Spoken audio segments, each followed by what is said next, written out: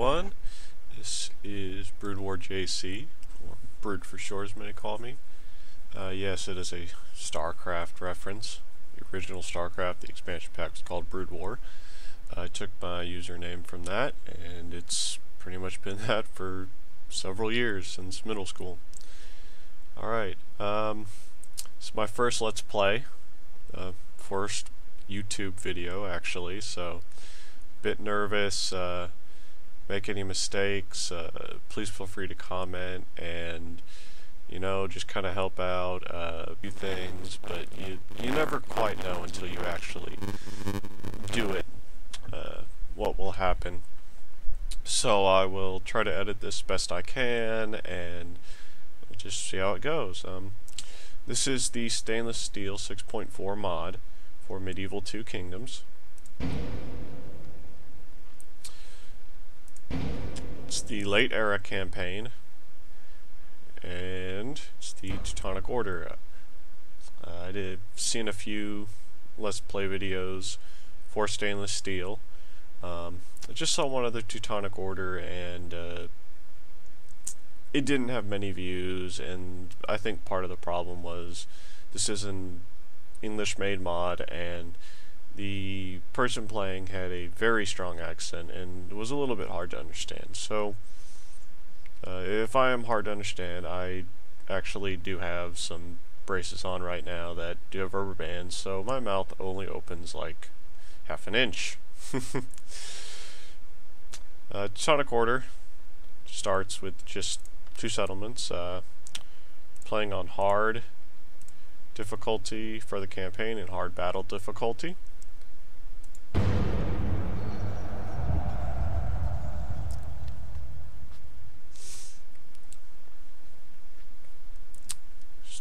Loads up. Nice background pictures. Uh, a lot of these the mod actually added. The normal ones were kind of bland. That's their opening message. Uh, the Mongols have invaded. And we start at war with the pagan Lithuanians. Teutonic Order was an order of German knights that started uh, in the Holy Lands, but the Holy Lands basically fell before they got to do much. Um, so they ended up heading up back north, where they ended up getting recruited uh, by the Polish to help fight the Lithuanian pagans, who were basically ambushing and slaughtering Christians in the middle of the night. They they were much like Native Americans raiding uh, settler homesteads. Um, so whereas the U.S. Army stepped in for that, for this, they sent a holy knight order. Uh, fortunately, their practices are not so holy since it basically resulted in slaughtering hundreds of thousands of pagan peasants, even those that weren't actually killing other Christians. So we start with our one city Riga and one castle Palanga. Um, there are a few different ways to play this campaign. Um, it is one of the harder ones that you will play, so if you do are looking for a challenge on this mod, uh, or if you're you're new to it, you may not want to do this one at first. But if you're looking for a challenge, this is definitely one to check out. Um, it, they do specialize in heavy infantry and heavy cavalry with limited archer support. Um, they do have the basic archers, and they do have a strong crossbowman with the Pavis shield, so they they don't really have any specialty archers though. Um, none that can drop stakes, so uh, the the good thing though is, is that if we do get any of the castles in the area, a lot of them recruit Lithuanian archers that do drop stakes. Um, so if you want to expand straight down into Lithuania, because um, we do start with these two stacks right here with our, our leader, our Grand Master, who, if we look, is actually very well statted out for a starting leader. Um, he's actually one of the best statted out in this mod, in my opinion. Um, lots of high chivalry, which this is very good for growing settlements. It uh, increases population growth uh, to fight against uh, squalor. Um, faster growing settlements, more population, more taxes, etc. Uh, he's very pious, so we won't have to worry about any in inquisitors killing him. Um, and he has decent command and authority. And on the other side, we have our one other general, Conrad. Uh, plenty of loyalty, so he won't be bought off or betray us. You know, he, low command and piety. Um, but he actually does. He'll generally make a decent second leader. Um, not as good as our Grandmaster starts out, but we can work on Conrad. Um, setting generals in towns with the taxes set low it will hurt your income, but getting them up to four chivalry um, for the ruler, it'll take several turns. But it's a good way to end up, it'll end up growing the town and getting you more money kind of in the long run. Excuse me there, I took a drink. Hope it doesn't show up. uh, European General Bodyguards start out with kind of the middle of the pack stats. Um, they're not the best, they're not the worst. You know, 6 attack, 14 charge bonus, and 20 defense. Um, now these numbers, there are a lot of them. And just kind of a breakdown. This is kind of the average man count. Um, this will actually Let's see, so it starts out at 32 for Conrad. Um, based on, I believe it's the command, it will go up. Generals kind of have random amounts, anywhere from like a measly 20 up to like 60. They only have one experience. Um, units will gain experience through either building upgrades or combat where they kill units. The base attack is basically the attack the unit is doing when it's standing still. Um, 6 is fairly low, especially when you look at the charge bonus, which is a massive 14. Um, to get a unit to charge, you have to have, basically it'll run at the unit if the unit is a certain distance away. Um, so to actually get charged to activate, the animation has to activate. In the case of cavalrymen, their will, lances will appear in their hands and will lower as they hit the enemy. So when that happens, they will actually have like a massive 16 attack because this charge bonus will be added to the normal attack. Um, they have a 20 defense, and defense is basically calculated by these three stats right here. Um, armor, defense skill, and shield. Um, and each of them kind of, uh, in, in melee, armor and defense skill are taken into account, and usually the shield is ignored.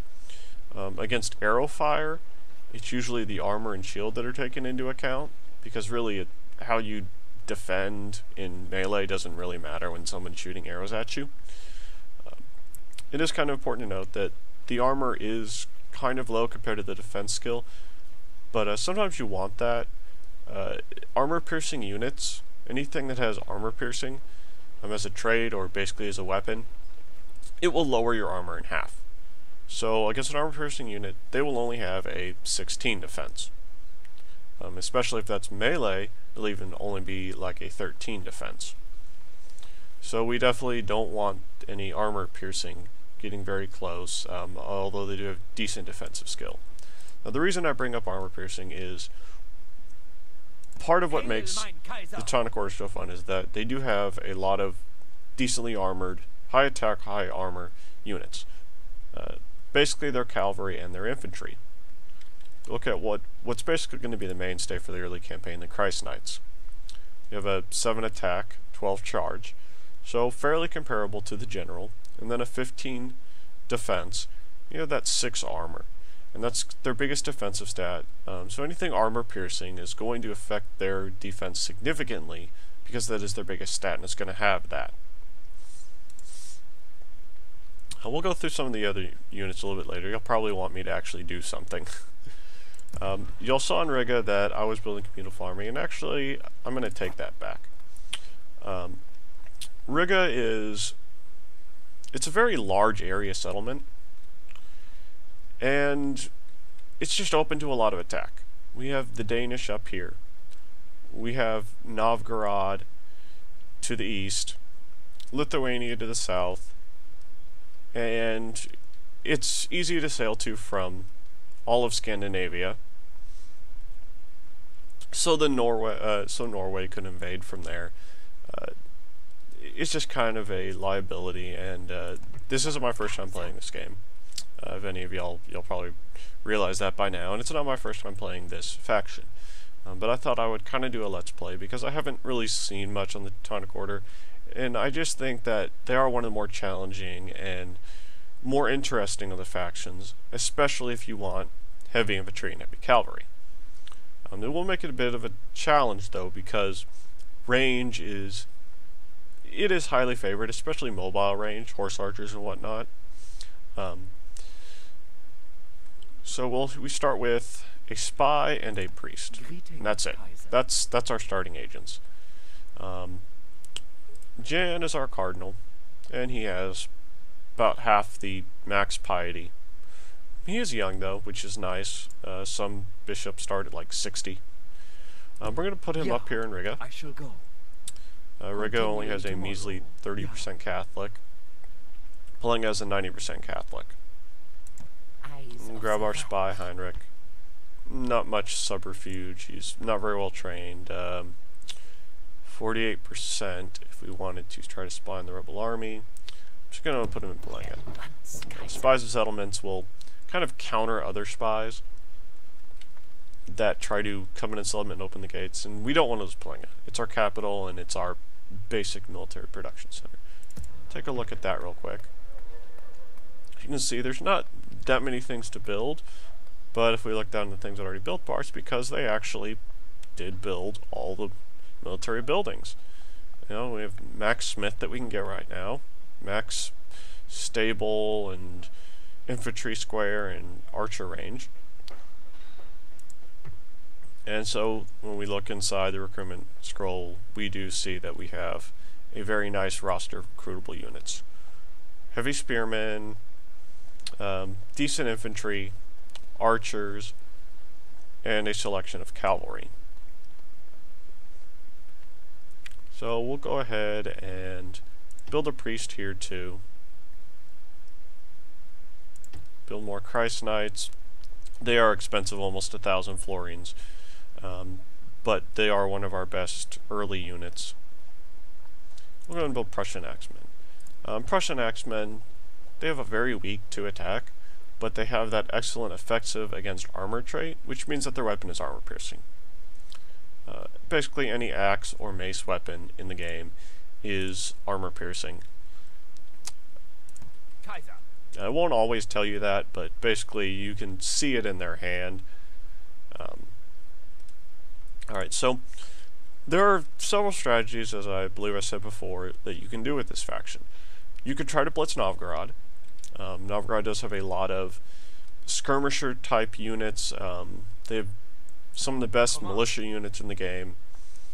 Uh, it can make it very challenging, uh, especially because they actually do start out with two castles and their capital is fairly well developed. Um, I have actually done a Novgorod Blitz. Um, I didn't really like the results. My army was fairly decimated. Um, I won the major battles, but they do start out with the, kind of a large army over here uh, that you do have to fight through. And then it was just kind of a little bit troubling holding it.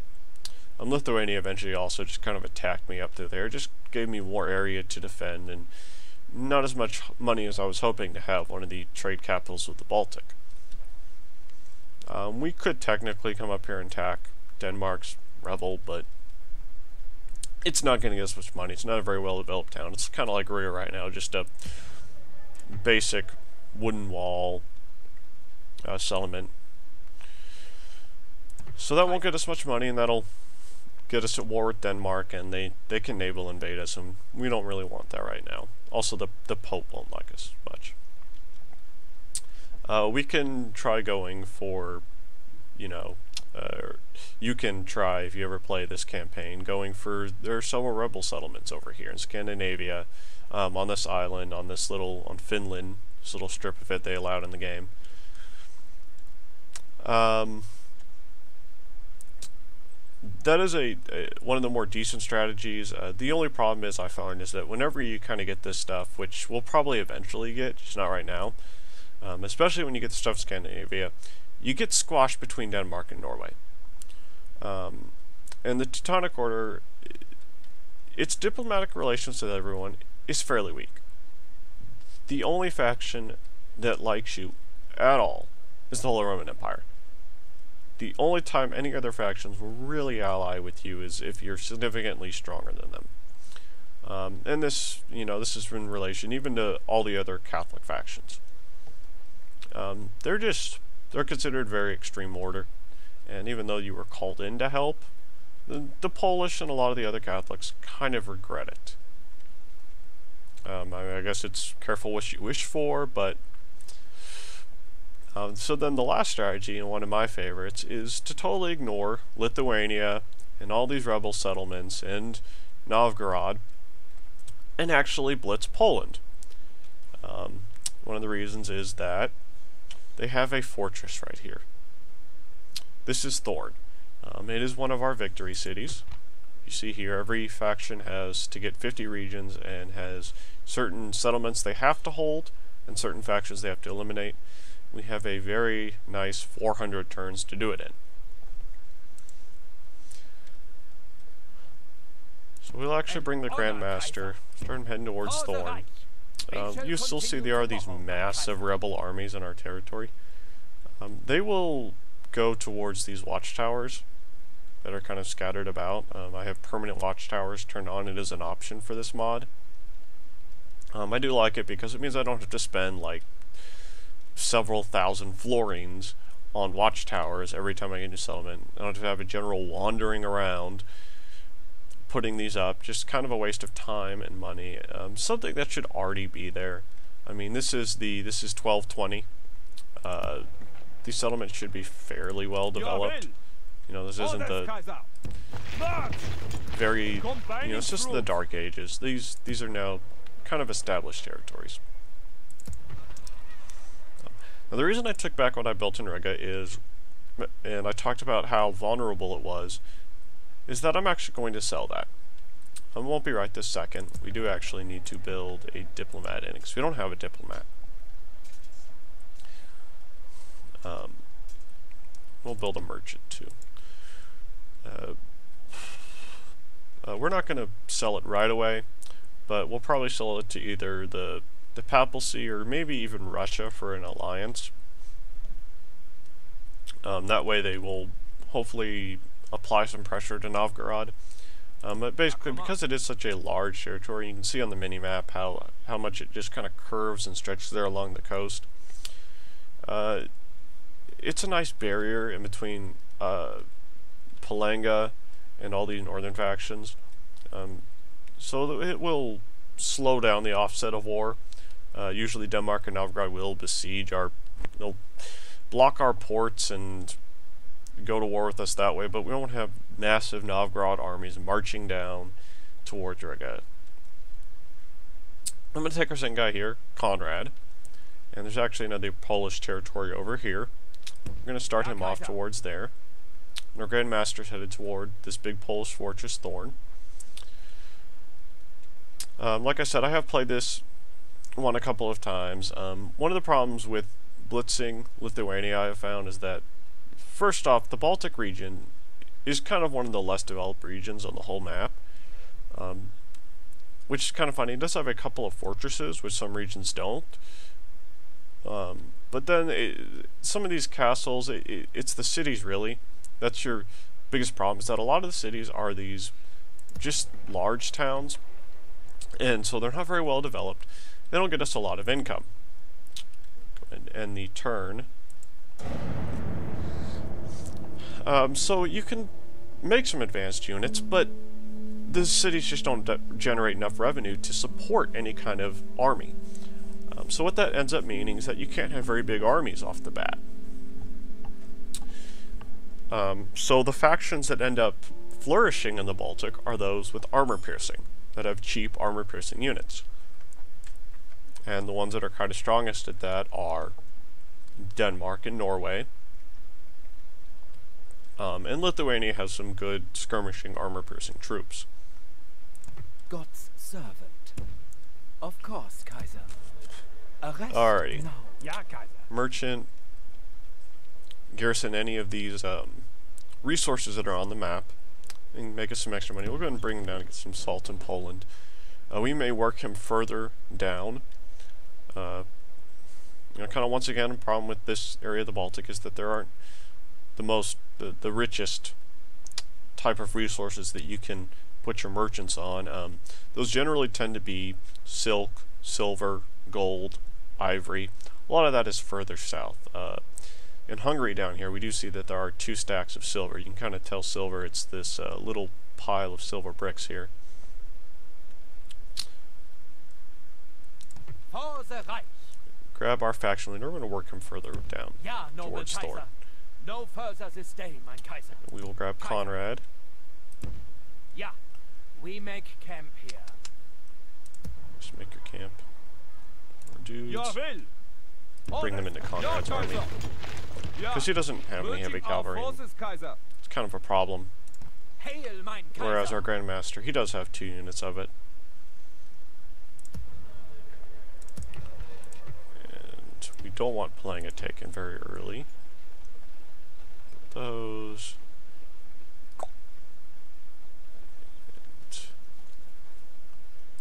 And Order sergeants have a very high 300 upkeep. I want to build those or spear militia, which have almost a third less, but not as good in combat. I'm gonna try the spear militia. Let's retrain them. Uh, you'll notice they don't have any armor upgrades on them. We need to apply those. Ha! I forgot to build Palanga last turn. Uh, like I said before, it's my first Let's Play, so doing two things at once is not very easy. Yeah, holy Kaiser. Alright, he's heading off. Our merchant's heading off. Let's not forget about our diplomat. That would be embarrassing. Das ist gut. Is there something I can do for you? Your proposal. Trade rights with. Denmark. They'll backstab us eventually. Whatever. of wisdom to share. We don't have many territories, so we will see if they'll give us 300 for it. We have no complaints. Thank you. Your time was most I generally ask for about 100 florins per territory, and maybe 100 on top of that. I shall Good enough, represent the Garage. Reich, Kaiser. Resting here, Kaiser. Okay, and turn.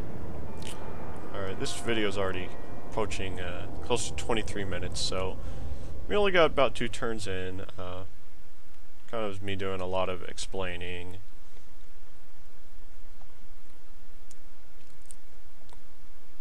Mod also kind of turns take a bit, a little bit for these factions. That's because it is a very, very large map, stretching all the way um, England to India. So I think I'll do this turn, which should see us besiege Thorn. And then I will follow up this video with another one in a few hours later today, most likely. I need to edit this one, see what happens. Um, I did a test video earlier and my mouse didn't show up, the little arrow on the mouse, so I have no idea if y'all are even seeing it right now. Great Council, 1500 florins. Let's look at our treasury. Oh, yeah, treasury hurts you. You you do start with a very expensive army. Poland and Hungary, they always ally. It's kind of what they do. Uh, it's like the one alliance on the entire map you can 100% guarantee. And I mean, literally, it is the the only steady alliance I've like ever seen in this game is Poland and Hungary. Ja, Even though both of them have Ja, a victory condition to destroy the other. So Conrad's gonna head toward Palak. Oh. Oh, I love it. They just have one general in there. for you, Kaiser. Ja, Kaiser. Basic setup for one for just one uh, walls for me is just uh, two ladders and a ram, you might be wondering why not a siege tower? Siege towers are very slow. Um, they do. They're supposed to protect you better than arrows, but with something like a just a wooden wall, it's like eh. Um, siege towers normally will be better when you attack anything with ballistas, um, because those ballistas will rip up unprotected units. Uh, but then they just kind of fall on the backside because they can be burned by the ballistas. So it's kind of a toss-up. Thorn. The Reich marches to glory. Thorn's a fortress, so I'm going to build next to Ram. Um, if one of these burns, that would be a big problem because fortresses and uh, citadels, which are the last level of a castle, they have two gates. So you need an extra set of siege engines We have them um, besieged, mein Kaiser. to really, really to get through it. Because if your one ram burns, you could kind of be stuck. Um, you can bring ladders into it, but it's only ladders that haven't been set. Uh, but I want to have both to of my ladders you. working. And what that does, that it does spread the defenders out. So they have a general, cavalry, archers. These are those Lithuanian archers I was talking about. They have that nice can use sharpen sharpen stakes trait. Um, so if we take this, we actually should be able to recruit them uh, as part of the area of recruitment. Will And we have a see an ally army here that will most likely uh, back them up. See light men at arms. Alright, and we'll actually end the video there. Um, when I come back next time, uh, Poland may bring up an army to attack us here. We'll have to find out. Um, until then, uh, thank you guys for watching, and uh, see you next episode.